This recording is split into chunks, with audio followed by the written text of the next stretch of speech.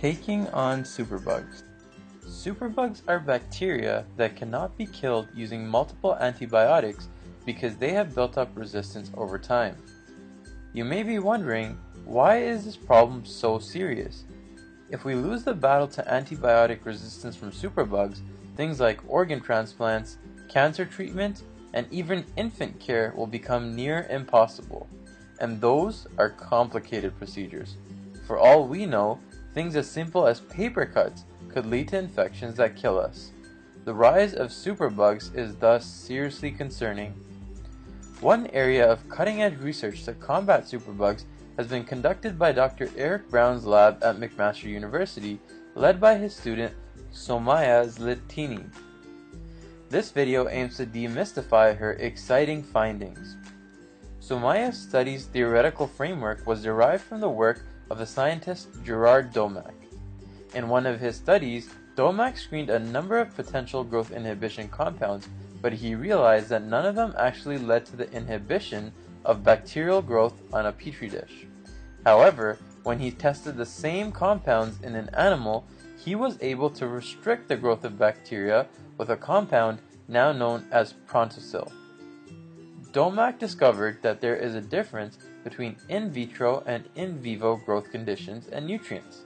The medium on the petri dish had more nutrients as compared to the living organism, thus enabling the bacteria to grow.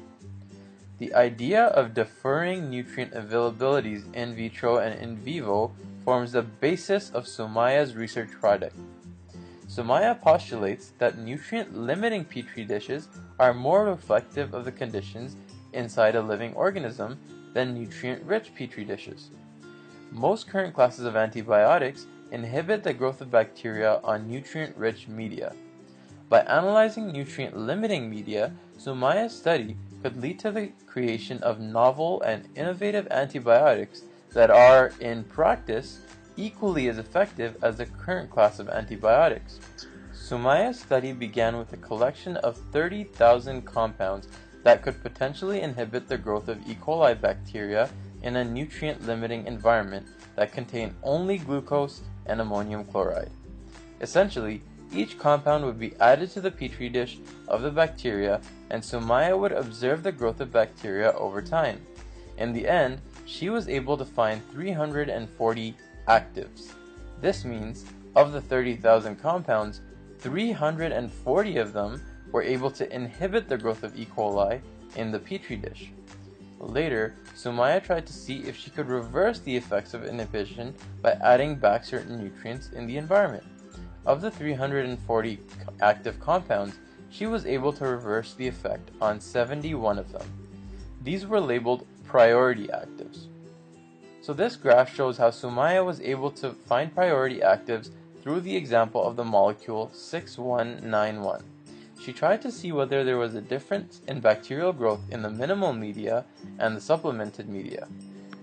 These graphs show the growth of the bacteria on the y-axis and the concentration of molecule 6191 on the x-axis. As you can see, bacterial growth was inhibited in the minimal media or the nutrient-limiting petri dish, but not in the supplemented or nutrient-rich petri dish. Soumaya used a similar process to find 70 other priority actives.